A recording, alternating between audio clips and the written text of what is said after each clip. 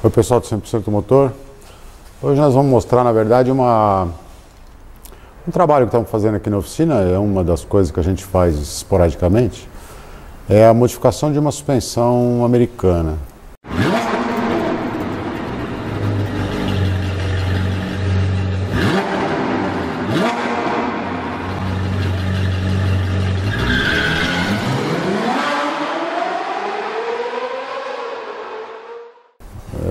Na verdade, é para poder explicar, é assim: é um carro que foi muito modificado e o dono teve, ele teve que adequar uma suspensão que ele comprou pronta nos Estados Unidos, uma suspensão de alta performance, para a carroceria do carro que ele estava usando.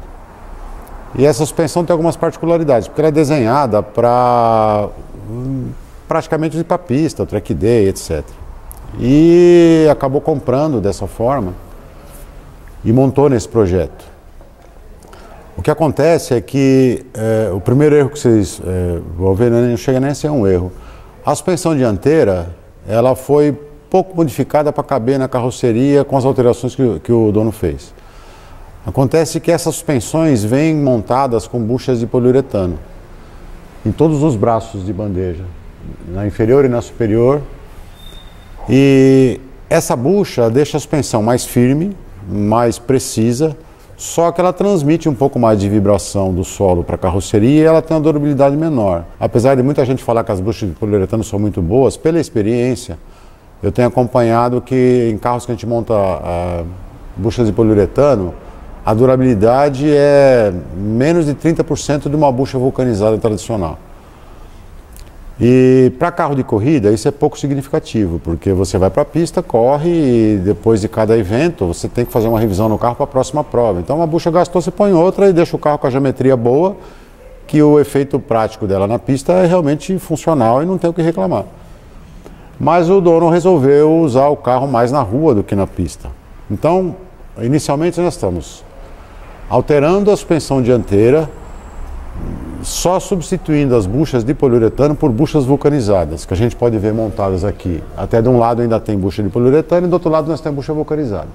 Essa bucha deixa o carro mais confortável, diminui o ruído, ela não é tão precisa na geometria da suspensão como a de poliuretano, mas atende e fica mais tempo sem haver necessidade de manutenção. O grande problema dessa suspensão é o que a gente modificou na traseira. A suspensão traseira que o dono comprou, ela é, eh, segundo o fabricante nos Estados Unidos, ela é para aproximadamente 400 a 450 HP de potência. Ela é uma suspensão originalmente desenhada com um braço inferior e sem braço superior. Ah, ele não tem braço superior. Ela é simplesmente o acerto da cambagem da roda é o braço inferior e o cardan. O cardan não é articulado, então você movimenta o cardan para fora e para dentro, com calços atrás do cardan, para regular a cambagem traseira. Pessoal, aqui que eu estou falando para vocês um cardan, é lógico que é, não é um cardan, isso é um semi-eixo. É que a construção é muito parecida com a de um cardan. Ele tem as cruzetas e luvas, etc. Mas ele é um semi-eixo, que o cardan existe no carro, um cardan que é toque diferencial. E aí, do diferencial para as rodas, são semi-eixos, mas que eles parecem dois mini cardan. Por isso que a gente costuma falar de cardanzinho ou de cardan, mas não é. É um semi-eixo que ele era inicialmente fixo e agora ele é móvel porque mudou a geometria da suspensão e ele tem que aumentar e diminuir de comprimento conforme a roda se movimenta. E a convergência traseira você regula rosqueando os olhares onde vão as buchas de suspensão.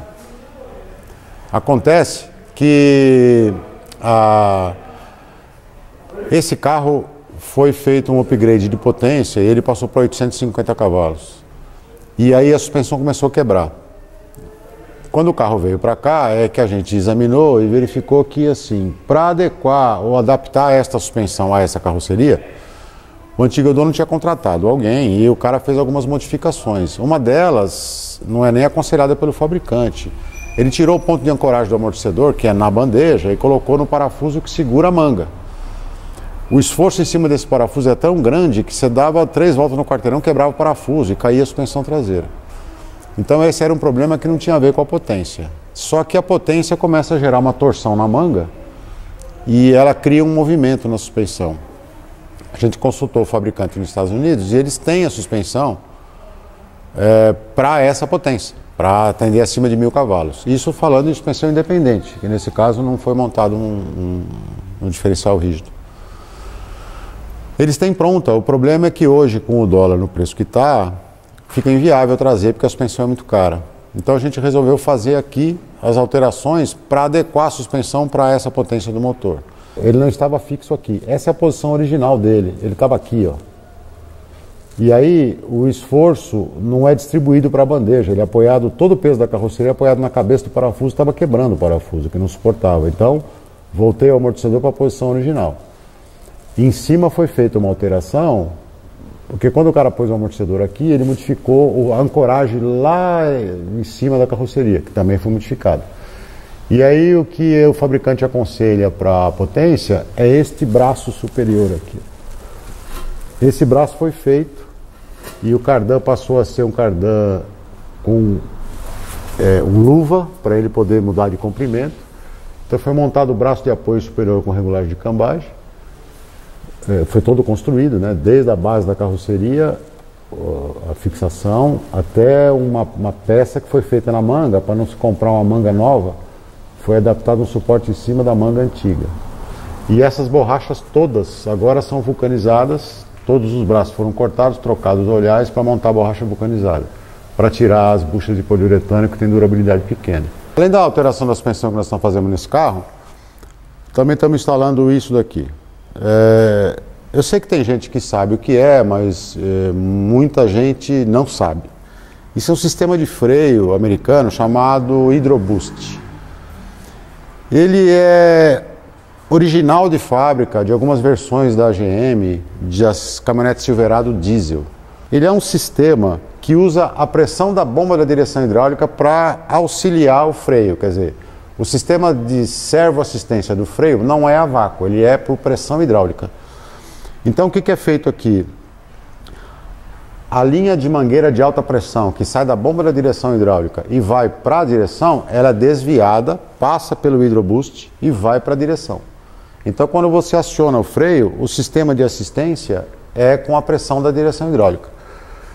Isso a gente está fazendo porque ele tem uma diferença. Ele, tem, ele ocupa um espaço é, um pouco mais comprido, vamos dizer assim, mas o diâmetro é pequeno em relação a um servofreio bom.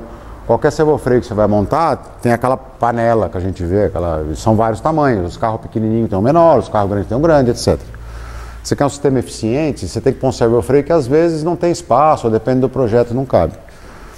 Nesse caso, é o mesmo caso do, da suspensão. A gente modificou porque foi comprada uma suspensão de corrida e quando o carro foi montado, também foi montado com um conjunto de pedais e sistemas de freio de corrida, que não tem servo-freio, é cilindro individual. Tinha um cilindro para o freio dianteiro e um outro cilindro para o freio traseiro com um balancinho para você acertar o equilíbrio. Como o uso é de rua, esse freio acaba ficando pesado, incômodo no dia a dia. E o carro não tem muito espaço. Então optamos pela colocação do Hydroboost, que é esse sistema aqui embaixo, vai ligado à mangueira de alta pressão, que vem da bomba, e dela tem uma saída que vai para a caixa de direção. E o resto é tradicional, como se fosse montar um servo-freio a vácuo a, a vareta que vai no pedal do freio, que aciona o pistão interno, e o cilindro de freio, que pode ser qualquer um. Nesse caso, o kit já veio com um cilindro de freio pronto, de dupla saída, de circuito duplo, um circuito tradicional, quer dizer, o hidroboost é esta peça aqui. Ó. Daqui para frente é o cilindro de freio e aqui vai no painel para acionar o pedal. A única diferença de funcionamento, para quem não conhece, é que isso aqui não é a vácuo. Ele funciona com pressão da bomba da direção hidráulica. É isso aí.